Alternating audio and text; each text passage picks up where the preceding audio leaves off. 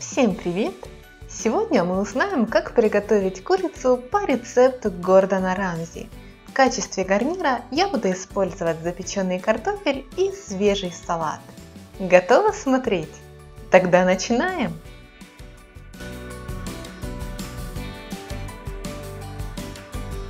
Так как картофель будет готовиться около 30-35 минут, мы начнем с него. Нечищенный молодой картофель лучше брать небольшой по размеру, чтобы он лучше запекся и его не нужно было разрезать по частям. Хорошо промываем и оставляем в миске на 10-15 минут, чтобы убрать всю грязь. Еще раз промываем его проточной водой, вырезаем поченные части, глазки. Теперь картофель полностью готов к маринованию. Приступаем к приготовлению маринада. Берем чеснок, режем на небольшие слайсы и складываем все в миску. Добавляем несколько лавровых листиков и немного сушеного розмарина. Отлично подойдет и свежий, но я его не нашла. Берем большую емкость, вливаем туда 3 столовые ложки растительного масла, добавляем чесночную смесь и все перемешиваем. И еще добавляем соль и черный перец по вкусу.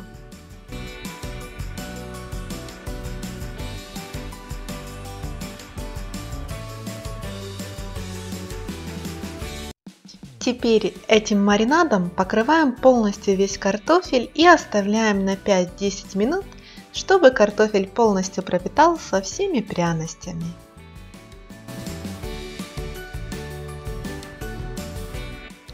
10 минут прошло, выкладываем подготовленный картофель в противень, который я заранее застелила бумагой для запекания, и выкладываем туда картофель.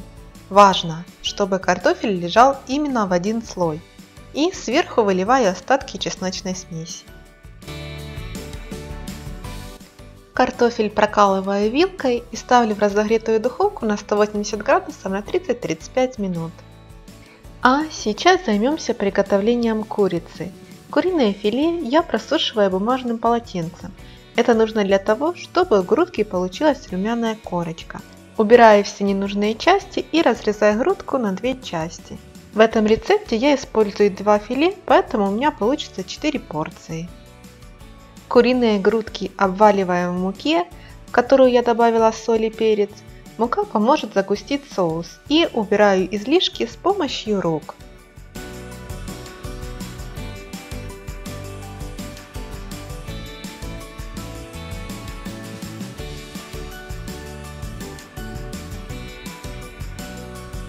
На сковороду вливаем ложку растительного масла и добавляем кусочек сливочного масла, для того чтобы курица имела золотистый цвет а растительное масло не даст сгореть сливочному.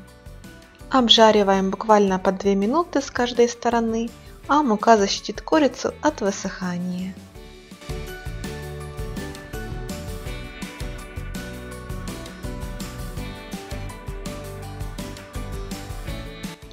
То же самое делаем и с второй порцией.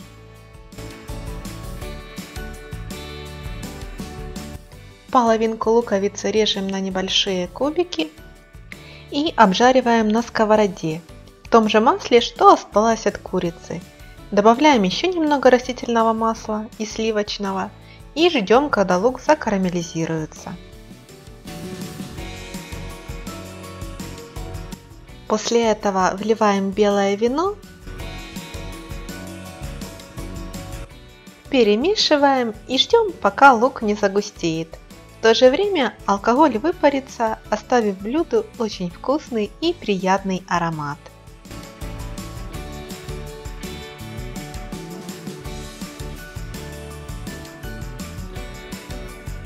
Добавляем к соусу 2 столовые ложки томатной пасты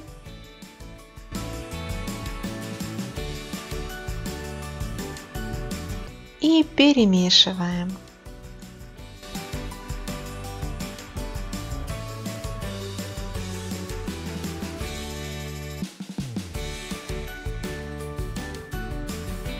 Вливаем полчашки куриного бульона и снова перемешиваем. И ставим на небольшой огонь. Добавляем в соус 2 небольших помидора и перемешиваем.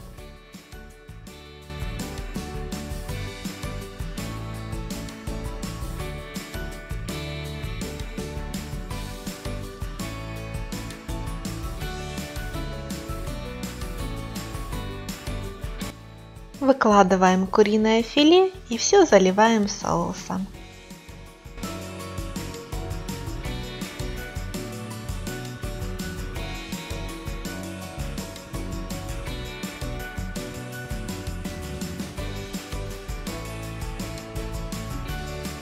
Курица в этом соусе должна тушиться 7-8 минут.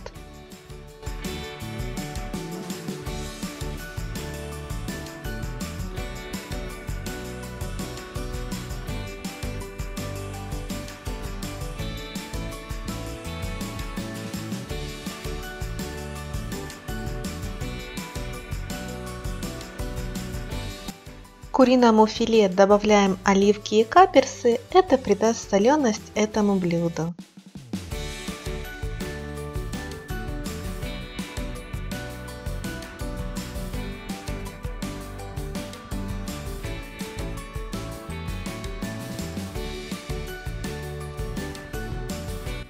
И все перемешиваем.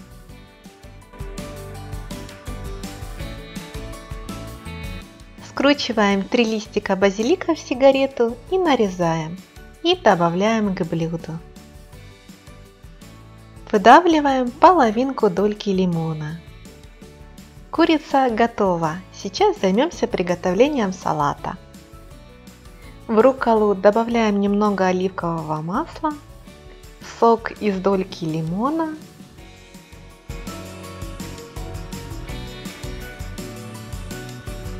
и 30 грамм натертого пармезана и перемешиваем.